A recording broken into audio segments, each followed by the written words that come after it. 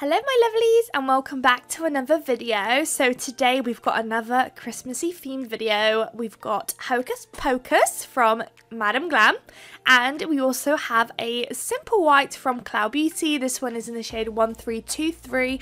They do another white shade which is a different number. I think it starts with the number 3 and they're pretty much the same. One is a bit more of a pure white than the other but no matter which one you pick up they're pretty much just a white. Nothing, you know, when you've got them two compare, there is a slight difference, but when you buy it, you literally not see it if you only get the one colour. Um, so, starting off with the design, there's quite a lot going on today. There's um, snowflakes and ombres and glitter and sweater and everything just involved in today's video.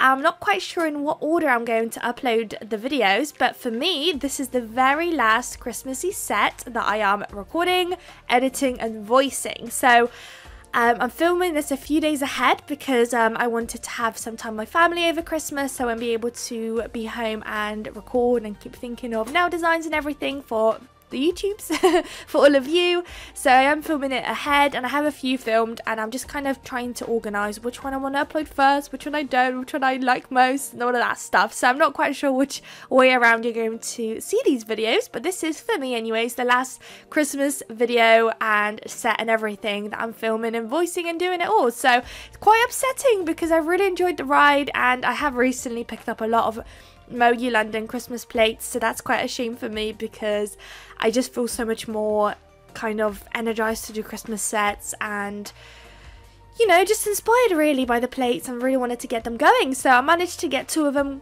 going. Um, and unfortunately, the rest of them are going to have to wait till next year. So this is probably the perfect time to stick around and subscribe because next year we're going to hit it even harder than this year.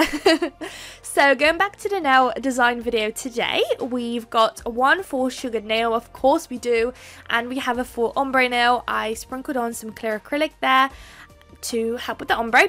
Um, and um, then I just Repeat the process, keep applying the gel polish with the sponge and sprinkle on acrylic until you are happy and cure in between each layer of course. So now that we have two layers of the other nails applied as well and cured, it's time to start with the nail art design. So this bit I had to trim out, I could not get it straight, even though it looks somewhat alright to be honest. But my biggest issue was I needed the same distance between the two lines right in the centre because we are going to place some stickers on there which we've got right there.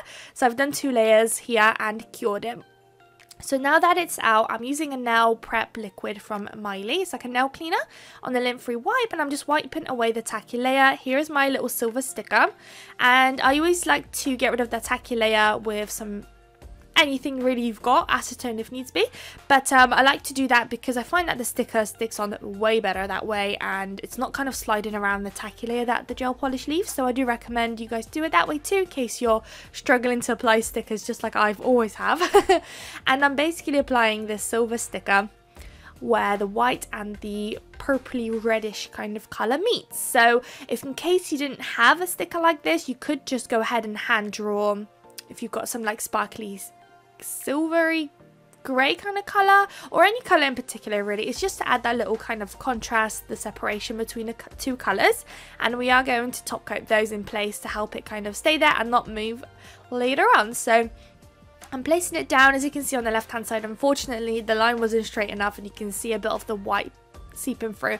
But luckily it wasn't too noticeable so I can get away with it which is great. I love to I love when that happens when it's almost tragic, but it's just about where I can get away, get away with it.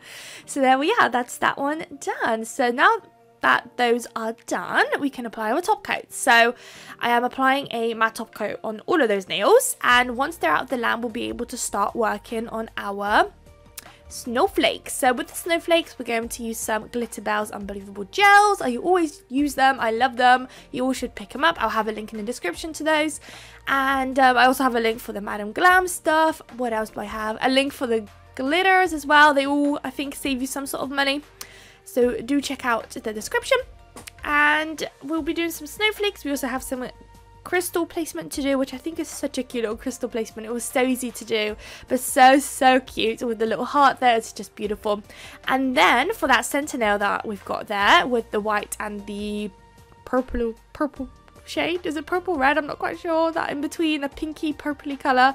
And uh, we're going to sprinkle on some glitter, which we're going to work on now. So now that it's top coated, I am going to apply another wet layer of that white gel polish.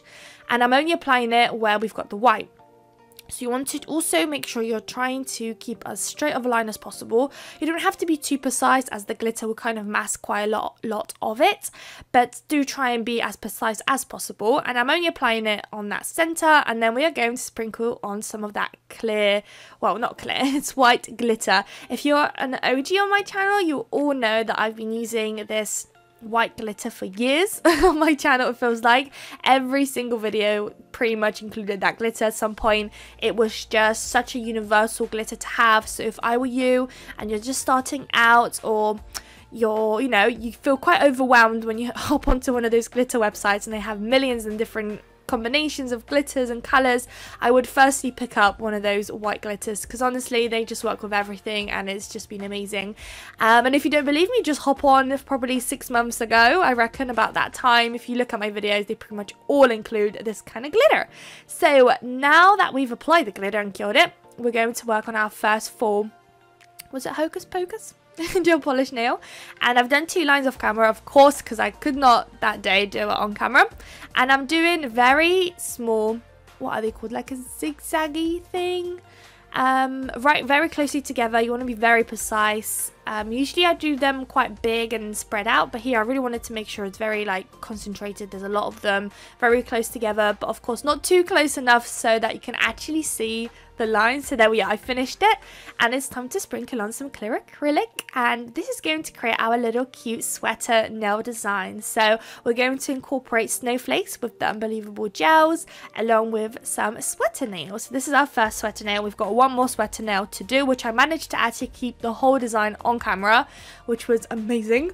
So there we are, here it is. So here we're going to do a slanted kind of sweater look. So we're going to start off with the top and then dragging it down to the left and um, I'm going to start off with the first line and I'm using actually a very long brush I highly recommend them for trying to do straight lines so now that I've done the first line I'm going to pick up a smaller brush because I just feel so much more confident with doing actual designs with it and I'm going to do kind of like a very lazy S and I'm going to repeat this and I'm going to almost make them look like they're connecting but they're not. You want to make sure that the there is a gap in between each S and you just want to follow it. I thought it was a really nice different way of doing it. I always do these very sharp harsh what I called what was it zigzags? Did I call them? Um, patterns. And here I thought well, let's switch it up and do it a bit differently. And I'm going to finish it off with another line underneath.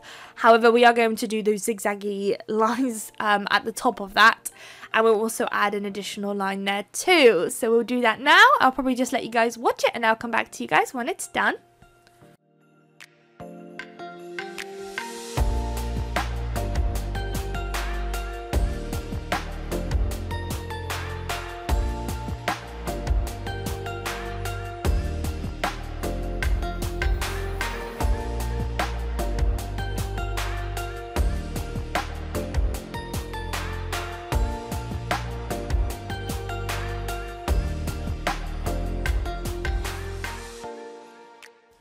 Alright, and it's done, so now it's time to sprinkle on some clear acrylic, of course. So that'll be the very last little sweater vibe that we've got going on. Then we've got a lot of work to do with the snowflakes. So they've just got um, I mean, it's probably not a lot of work, it's just a lot of snowflakes to do. We've got one, two, three, four snowflakes to do.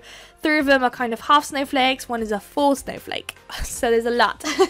so for this nail here, we're going to do a snowflake. What will look like, it's kind of coming out of the actual sweater look. So we're only going to do three lines sticking out of it, and then we're going to follow kind of where the sweater is going downwards. We're going to add one line going down there and one line going upwards. There we are. And then for this snowflake, we're going to do kind of like triangles attaching each kind of branch together, just like that. And we're going to do a double triangles. There's the double. So you're going to follow this exact thing across each branch. And then once you're done with those, we're going to finish it off with a detail of some dots on the branches. That's the best way for me to describe it.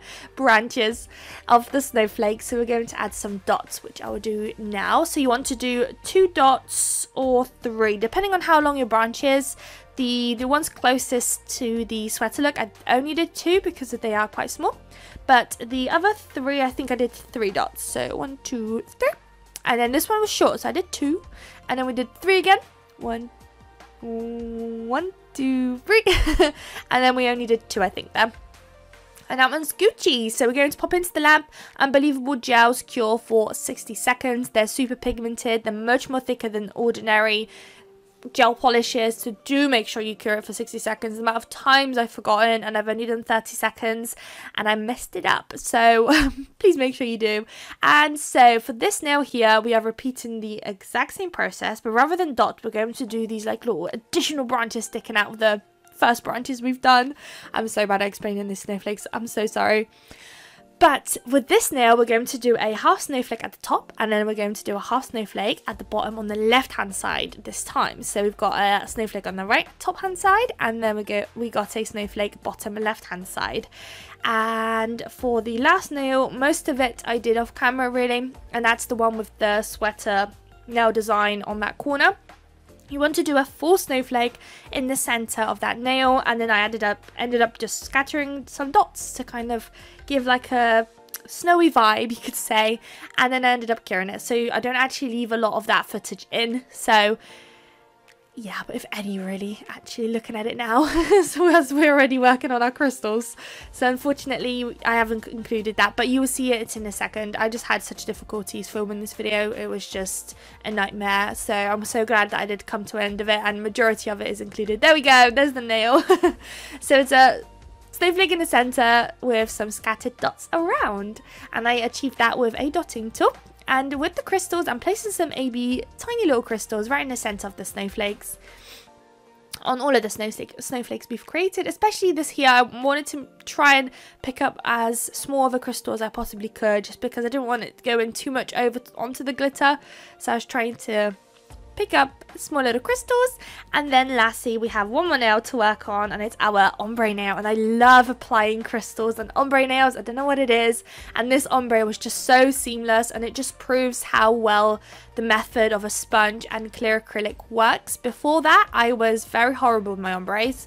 It was just not working and I would avoid them at all costs. I literally just hated them. I just didn't like what I was producing. And um, now that I found this clear acrylic method, um, I, I always get asked, why do I do it? I really, I don't know. I found it on Instagram and ever since then, I've, I've seen a lady do it, I think. It was a lady and I can't remember, but I saw someone do it on Instagram, and I thought, you know what, I've tried so many things, what could hurt, try this method, I've got everything that they're basically using, let me just give it a go, and goodness, was I shocked. And as you can see, that ombre is seamless, and there's no dots when you, or any brush strokes when you use a ombre brush, I always see those brush strokes, which I just really don't like, I just love a very beautiful, seamless ombre, and this has been the only way I've been able to achieve it.